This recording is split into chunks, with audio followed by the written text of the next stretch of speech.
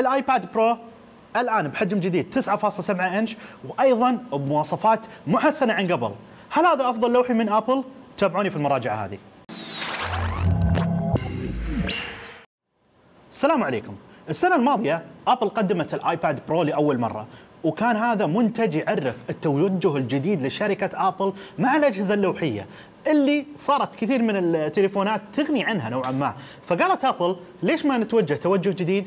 نحول فيه الأجهزة اللوحية إلى شيء أقرب إنها تكون لبديل لأجهزة الكمبيوتر المحمولة، لذلك شفنا ال iPad Pro، وجهنا ال iPad Pro مع إكسسوارات جديدة من شركة آبل، منها ال keyboard الرسمي لل iPad Pro ومنها القلم الرصاص اللي كان صراحة استخدامه مذهل جدا خصوصا مع الرسامين بسالفة إنه يتعرف على الضغط وأيضا يتعرف على الميلان، كانت تجربة جدا فريدة وأنا شفت رسامين فعليا يرسمون قدامي على الجهاز وكنت منبهر جدا بدرجة دقة تشابهه مع القلم الرصاص الحقيقي أثناء الرسم. لكن حقيقة حجمه 12.9 إنش وهو أكبر آيباد قد سوته آبل اطلاقا كان شوي كبير على البعض. البعض شاف منه إنه جهاز ممكن ينفع. لناس عندهم مهن وحرفيات معينة أكثر من إنه جهاز لعامة الناس. فقررت آبل إنها تقدم هذا الحجم الجديد اللي هو 9.7 إنش. وبيني وبينكم الحجم من جد يفرق مع المستخدمين. طيب ال iPad Pro الجديد 9.7 إنش. هل هو مجرد تغيير للحجم أو خيار أصغر فقط؟ طبعا لا. وبنظلمه لو قلنا هذا الكلام. كبداية في لون ال rose gold الجديد اللي موجود بيكون فقط لحجم 9.7 إنش نرجع للشاشة، الشاشة مو فقط تغيير حجم، الشاشة حصلت على خصائص جديدة بصراحة مهمة جدا. ال wide color display كبداية هذا بيخلي الشاشة تقدم ألوان طبيعية أكثر وحقيقية أكثر بنظر الشخص اللي يستخدم الجهاز. لكن صراحة التغيير اللي أعجبني وأبهرني أكثر هو True Tone display. التغيير هذا ببساطة يخلي الشاشة عن طريق حساسات تعرف الإضاءة اللي عندك في الغرفة وإيش نوعها؟ إضاءة شمس إضاءة لمبة صفرة بيضاء إلى آخره. وتعدل لون الشاشة بناء عليها. أنا بالأمانة لما سمعت عنها وشفتها في النت وكذا قلت يعني شكلها شيء سخيف يعني. بس لما جيت فعليا ومسكت الجهاز الأول مرة وشغلتها قدامي انبهرت فعلا. فعلا يكون في فرق. فعلا تحس إنك قاعد تقول كيف كنت أستخدم الشاشة بهذه الألوان من قبل؟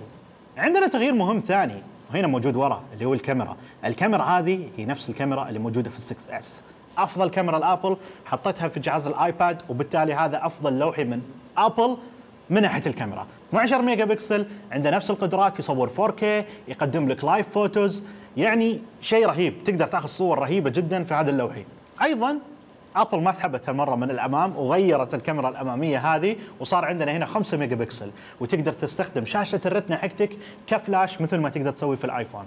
شيء جميل الآن بالإضافة للتغيير في المواصفات اللي صار والحجم الجديد، الآن تقدر تحصل على الآيباد برو بسعر 599 دولار أو تقريبا 2350 ريال سعودي. وبالأمانة الآيباد برو كان شوي غالي أو نقول كثير غالي فهذا خيار جديد أفضل والحين الناس أكثر تقدر تجرب خصائص سلسلة البرو الجديدة بدون ما تدفع المبلغ الكبير اللي كنا ندفعه في الحجم الكبير سابقا. في أشياء فعلا ابل لسه تقدر تشتغل عليها في الآيباد برو الجديد.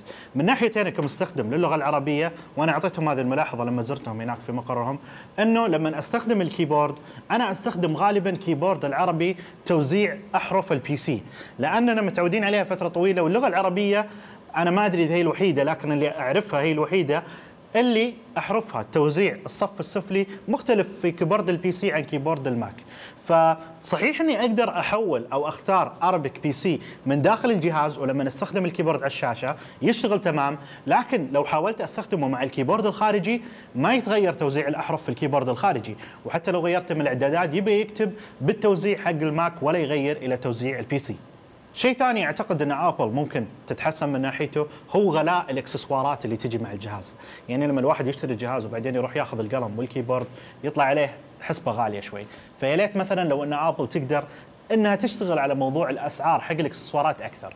خلافا لذلك وخصوصا أتكلم عن القلم، القلم شيء مبهر جدا، وإذا شخص يشتغل في مجال الرسم أو يشتغل في مجال يحتاج فيه القلم راح يقدر فعلا قد إيش الآيباد رهيب. بشكل عام خلينا نقول إنك مستخدم عادي، تستخدم اللوحي. ودك مثلا إن يكون له مواصفات أكثر من ناحية الإنتاجية، مثل توفر برامج ال Office عليه. بشكل عام الآيباد رهيب كلوحي، سريع، اشتغل عليه ألعاب. اشتغل عليه تصوير اشتغل عليه برامج إنتاجية. راح يعطيك أداء رهيب مع كل شيء. فالآيباد برو أقدر أقول باختصار شديد في مراجعتنا اليوم إنه أفضل جهاز لوحي متوفر حاليا.